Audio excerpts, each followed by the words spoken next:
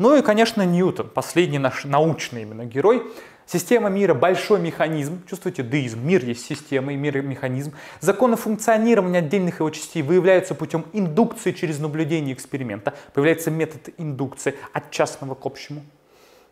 Существование Бога может быть доказано философией природы на основании космического порядка. Возникает космический порядок. И с помощью него он есть доказательство бытия Бога. Чувствуете? Красота, гармония, математичность мира доказывает, что мир был создан. Ограниченный, контролируемый опытом рассуждения идеизм. То есть у нас есть опыт, а, есть та инстанция истины, которая в философии нового времени буквально расцветет.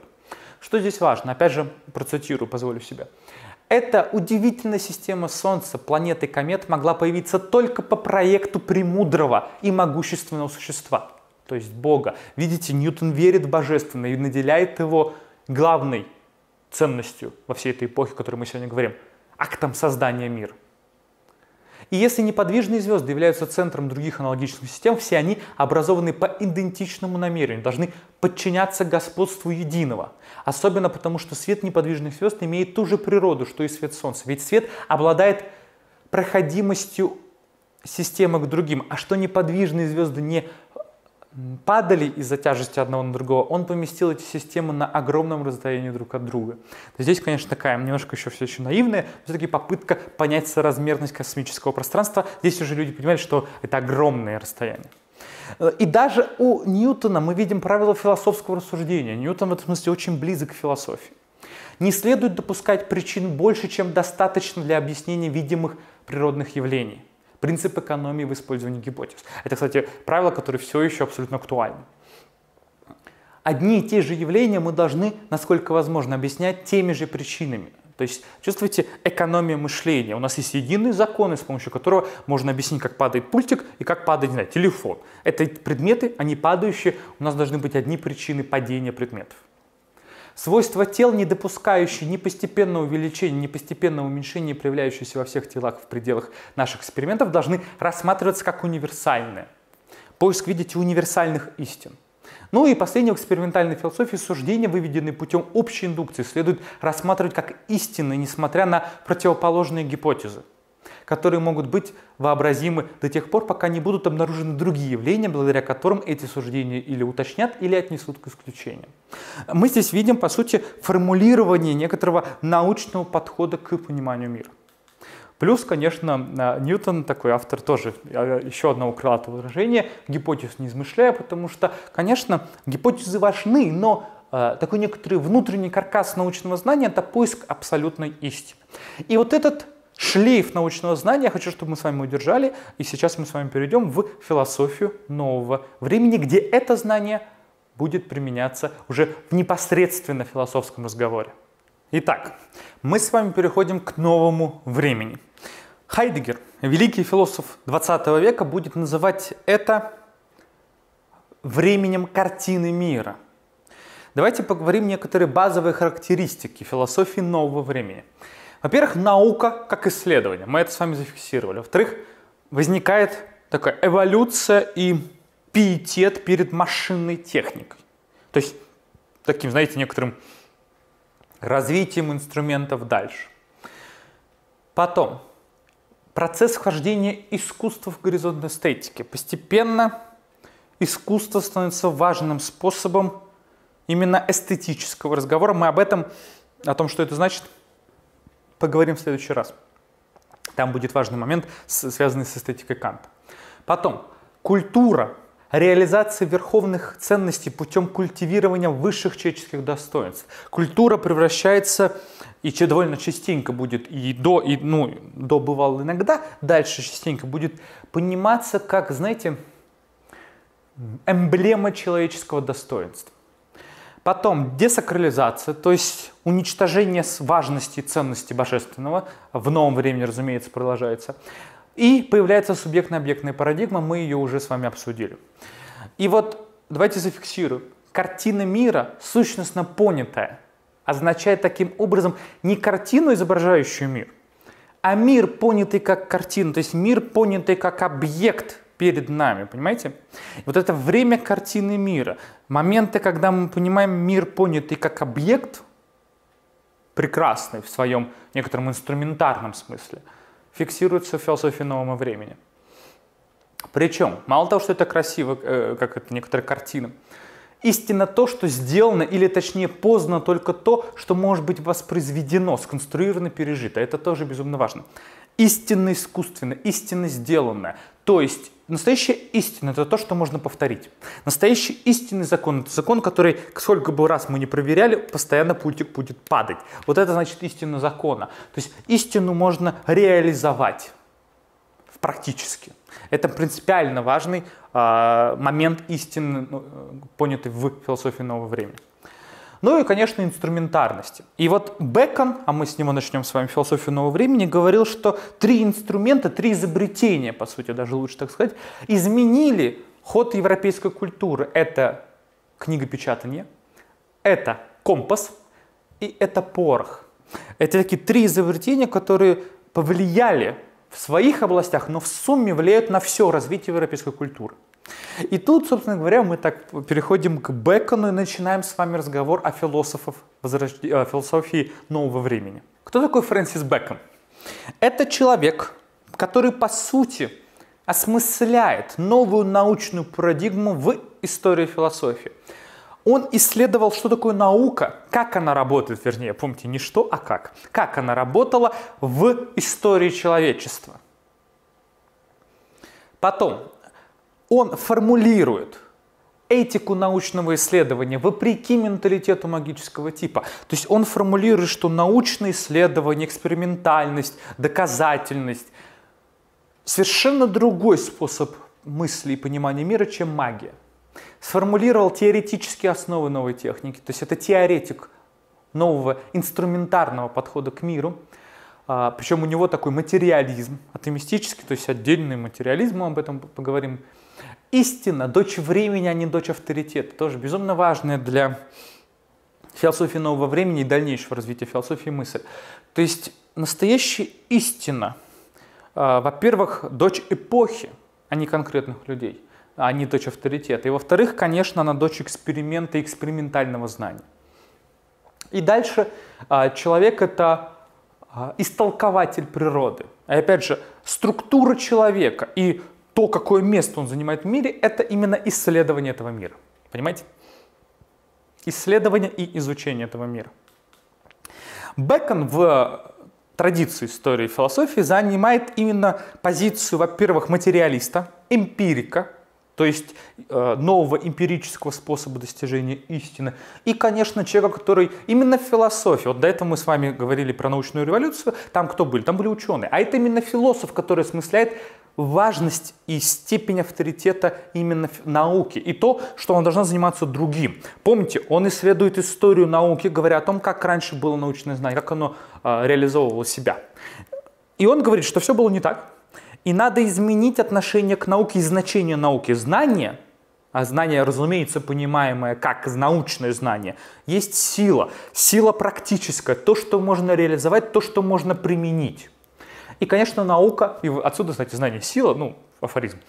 И отсюда, конечно, наука, наука служанка природы. То есть мы должны исследовать и подчинять научное знание природе, то есть естественному ходу вещей, естественным законам мира. И дальше он, собственно говоря, разворачивает перед нами значение науки. Во-первых, наука может и должна изменить условия человеческой жизни. Понимаете? Наука это не просто размышление узко какого-то людей, которые там, о господи, как это работает. Нет. Наука должна максимально сильно воплощаться и реализовываться в практическом повседневном поле. Она должна помогать человеку, проще говоря. Не быть отвлеченной системой умозрения, а реально нам помогать. Такой, знаете, вот этот утилитарный принцип, что все должно быть в пользу чего, практического. Вот тут и возникает. Потом, конечная цель науки – изобретение и открытие, их использование для улучшения жизни людей, умножения их власти над природой. То есть цель науки найти такие, изобрести такие системы, такие э, изобретения, собственно говоря, такие достижения научной мысли, которые можно было бы использовать в реальной жизни для улучшения жизни людей. Чувствуете практический тон, тон открытый для социума. Вот этот тон, который наука здесь берет на себя. Дальше. Познавая природу и объясняя ее с помощью науки, человек получает возможность господствовать над ней. То есть наука не просто инструмент человеческого способа познания мира. Именно с помощью нее мы получаем власть над природой вокруг нас. И, конечно, метод – это путь, главное средство исследования. Именно метод становится тем ключевым камнем научного знания, который позволяет изучать природу. В основе научного познания должны лежать индукция и эксперимент. И опять же, именно Бекону принадлежит право называться таким главным авторитетом, первым человеком, который вводит понятие эксперимента и логики индукции для развития и изучения природного мира. Но перед этим, перед тем, как мы исследуем истинный путь метода, у нас есть определенные идолы, которые мешают нам. Понимаете, идолы — это такие остаточные принципы человеческого мышления, которые мешают человеку мыслить истинно, то есть с помощью научного метода. Отсюда идолы так тесно на самом деле связаны с иллюзиями и с идеологией. А вы понимаете, что идеология, а то, как ее критикуют обычно в истории философии, особенно 20 века, идеология есть некоторый готовый способ мышления, который закрывает нам взгляд на истину. И поэтому идолы очень связаны с идеологией в этом смысле, как иллюзорный, уже готовый раз и навсегда способ э, познания истины, расстановки приоритетов. Философия всегда против идеологии. Философия очень аккуратно пытается разграничить зону влияния себя самой и идеологии, как таковой. И вот у Бекона, который пытается найти истинный способ мышления о мире, есть теория идолов. Идолы рода – это, собственно говоря, какие-то, знаете, ограничения человеческого ума как такового. Идолы пещеры – отделенно, отдельные заблуждения конкретных людей. Ну вот там конкретно Никита там не любит апельсины, потом, потом какие-то заблуждения есть как у меня, как у человека, я в своей пещере в этом смысле. Идолы площади – это проблемы языка. Площадь – это что? Это коммуникация. И наш язык, и здесь, кстати, начинает развиваться и дальше усложняться теория и философия языка. Сам язык, сам наш способ работы с понятиями – сам наш способ абстрагирования знания как такового, язык — это абстракция, уже здесь возникают проблемы с использованием языка. И четвертое — это идолы театра, то есть другие философские системы, то есть некоторые представления о мире другого типа. Это все мешает истинному познанию мира. В чем это истинное познание мира? А, и тут несколько вещей, которые набросал именно из концепции Бекона. Давайте их не, немного обсудим. Во-первых, идеал науки как силы призваны изменить природу человека. Чувствуете, наука есть изменение. Вот это та концепция, которой мы прорываемся сквозь идолов. Улавливаете, да? Итак, идеал науки как силы, признанный изменить природу и человека Истинное знание открытое принадлежит всем. Опять же, помните, как раньше там мистики, схоласты, э, эпоха Возрождения, это знание уникальных э, людей, это знание какое-то закрытое, знание, доступное для меньшинства, элитарного или умственного. Здесь научное знание внутри себя содержит, помните, социальный посыл. Оно есть достояние всех – это очень важно учитывать. Наука не бывает настоящая наука, а здесь именно про нее речь. Не бывает замкнуто внутри себя, закрываясь от мира. Нет, это есть продукт данный социуму как таковому. Соответственно, дальше. Разумеется, философия слов должна замениться философией дела. Помните вот этот пиетет практического, это мы с вами уже фиксировали. Потом, человек, слуга, интерпретатор природы, это тоже понятно. Дальше. Задача и цель человеческой науки заключается в открытии формы природы, природного отличия, то есть особых свойств породы источника эманации. То есть мы должны с вами изучать свойства природы как таковой. Бекон утверждает, что познавая природу и объясняя ее с помощью науки, человек получает возможность господствовать над ней. Опять же, фиксируем этот момент. Господство с помощью научного знания. Откуда это истинное знание? Разумеется, из опыта. Истинное знание вытекает только из опыта. Невозможно его получить другим способом. У нас есть две логики работы с опытом. дедукция и индукция. Дедукция – это метод, основанный на том, что из некой умопостигаемой общей истины выводятся частные и конкретные случаи. То есть из, от общего к частному. Это дедуктивный метод. По Бекону нужно идти обратным путем, набрав частные случаи, то есть наблюдение конкретных фактов, обобщить их и приходить к общим правилам, на основе которых открываются законы, то есть форма чистого действия. Индукция, индуктивный метод работает наоборот. У нас есть конкретные наблюдения, конкретные факты, и мы из них выводим законы. Это что? Правильно, научный метод по преимуществу. Индуктивный все новое время практически будет заниматься именно этим способом мысли. Пойдемте дальше. Э, у Бекона, и тоже я всегда пытаюсь показать, что научная такая мысль философская с научным, э, научной характеристикой, которую мы здесь видим, она, прошу прощения, она, понимаете, она не сухая. Вот я специально поэтому подобрал, хочу показать вам три пути развития науки по Бекону. Путь паука. Ну, чувствуете, это метафора, это красивый текст на самом деле. Путь паука или путь догматика, который плетет из своего разума паутину философской системы. Это ложный путь. Путь муравья или путь эмпирика. Собирает факты, не делает из них выводов. Заметьте, Бекон против чистого такого, знаете, а, прямолинейно понятого эмпиризма, когда мы просто фиксируемся на фактах, тогда они нам ничего не дадут. Мы будем постоянно погружаться в хаос этих восприятий. Путь пчелы или истинный путь собирает факты, классифицирует их, обобщает и приводит к открытию законов. Вот тот метод научного знания, который выносит Бекон и который влияет на всю дальнейшую историю европейской мысли. Следующий наш герой – Рене Декарт. Человек, который, по сути, ассоциируется с философией нового времени, автор той самой фразы «я мыслю, следовательно, существую» и так далее. То есть Декарт невероятным образом влияет на историю философии. Это одна из главных ее вех, одна из главных ее открытий. Декарт, по сути, знаете, предлагает так много точечных осмыслений, что с ними потом философия будет спорить, негодовать, либо наоборот развивать вплоть до, до сегодняшнего дня. Что делает Декарт? Давайте немного обсудим его теорию. Во-первых, э, давайте с самого простого начнем. Декарт говорит, что мир — это механические часы. Вот то, что, помните, я рассказывал про деизм, как мир, как готовый механизм, это все в Декарта абсолютно хорошо ложится. В мире нет никакой пустоты. Мир — это некоторая тотальность сущего. Мир исчислим и динамичен. Тоже понятно, что мир — это динамика, и мир можно э, высчитать. Если в мире античности и средневековья э, естественное состояние тела было покой, как мы с вами помним, а потом кто-то добавляет движение, и тело э, двигается, а движение аномалий, то теперь покой — это состояние движения. То есть теперь движение есть универсальный принцип материи, принцип всего на самом деле. Все движется. И, конечно, Декарт очень тесно связан с идеей, с идеей врожденных идей. Извините за тавтологию. А по Декарту мы сейчас с вами будем пройдем его путь сомнения, который приводит его к тому, что идея Бога ее невозможно получить эмпирически, ее невозможно вынести из познания мира. Поэтому Декарт приводит к выводу, что у нас есть некоторые идеи, которые даны нам до опыта.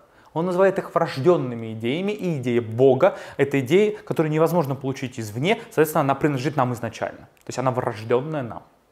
Об этом мы еще будем говорить. Итак, давайте обсудим его философию. Метафизика Декарт. Мир бесконечно протяжен, то есть мир есть некоторое бесконечное протяжение, бесконечное, собственно говоря, движение исчислимое. Он материально э, единообразен, то есть в мире есть одна материя как таковая. То есть а, помните, как говорил, Луна и Земля неразличны. Он отвергал любое различие. Здесь это продолжается.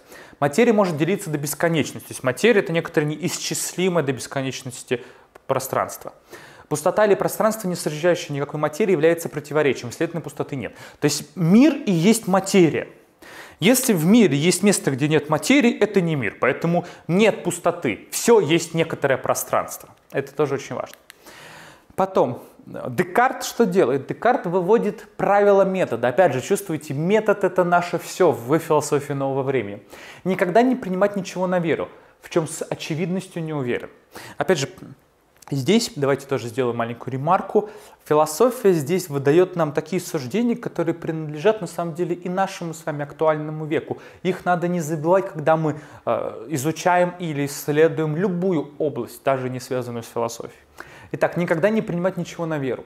В чем с очевидностью не уверен. Понимаете, он всегда сомневается во всех основаниях. Это принцип Декарта и принцип, как вы помните, с лекции по античности принцип философского знания – сомнение. Здесь оно никуда не уходит, а наоборот расцветает. Сомнение есть метод. Разделять каждую проблему, избранную для изучения, на столько частей, сколько возможно и необходимо для наилучшего его разрешения. А вот это уже будет идти дальше в истории философии. Мы берем любой феномен и пытаемся разделить его на более мелкие части, чтобы в подробности изучить каждый. Так называемый анализ, разделение. Аналитическая в этом плане мысль, мысль, использующаяся методом анализа, будет расцветать у Декарта, ой, прошу прощения, у Декарта, понятно? У Канта того же самого. У Канта мысль все постоянно делит. Дальше. Располагать свои мысли в определенном порядке, начиная с предметов простейших и легкопознаваемых, и восходить мало-помалому, как по ступеням, до познания наиболее сложных, допуская существование порядка даже среди тех, которые в естественном ходе вещи не предшествуют друг другу. Чувствуете, от простого и мельчайшего к сложному и комплексному. Вот это путь науки, путь Декарта. Последнее правило. Делать всюду перечни настолько полные обзоры, столь всеохватывающие, чтобы быть уверенным, что ничего не упущено. То есть чувствуете такая концентрация на том, чтобы все было сказано и все было систематизировано. Это, конечно, философия, которая выглядит как наука, как система. Итак, философия, у нее есть метод. Сомнение – это метод философский. И это обязательное условие достижения истины. Чтобы найти что-то истинное, нужно во всем сомневаться. И таким образом, с помощью сомнения, он приходит к первоначальному правилу. «Я мыслю, следовательно, я существую». «Когита эрго сум». Ключевая фраза Декарта и, по сути, всей эпохи нового времени. Что она значит? Декарт говорит – Давайте найдем основание всего. Это поиск оснований знания. Он говорит, что можно сомневаться во всем. В мире, в предметах, в моей чувственности, даже в Боге. Но единственное, в чем я не могу сомневаться, это само сомнение, это сам акт мышления. Поэтому я мыслю, следовательно, я существую. И что интересно, Декарт будет развивать дальше свою систему, которая выглядит, если ее схематизировать, примерно так. Не пугайтесь, сейчас все поймем.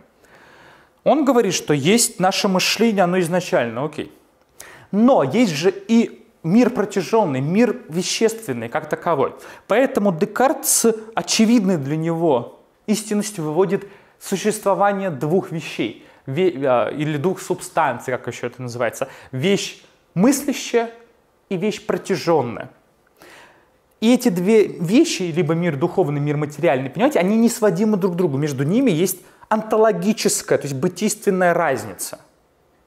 Но единственный по Декарту субъект, который совмещает в себе эти две вещи, это человек. В человеке есть и мысль мыслящая, вещь мыслящая, и вещь протяженная. Мы с вами принадлежим ходу и порядку материального мира, при этом обладая мыслительным аппаратом. То, как совместить в человеке непротиворечивым образом эти две как бы, субстанции. Декарт попытался, но у него, будем честно, не получилось. Отсюда идет психофизическая проблема в истории философии. Как в теле возможна душа? Декарт будет ее связывать там в шишковидной железе, пытаться как-то понять, что она где-то все-таки вещь мыслящая как-то фундируется в мире естественном, в мире природном, но это все очень-очень рассыпается, и философия не может решить эту проблему. И на самом деле даже современная когнитивистика не может ее тоже решить. Пойдемте дальше.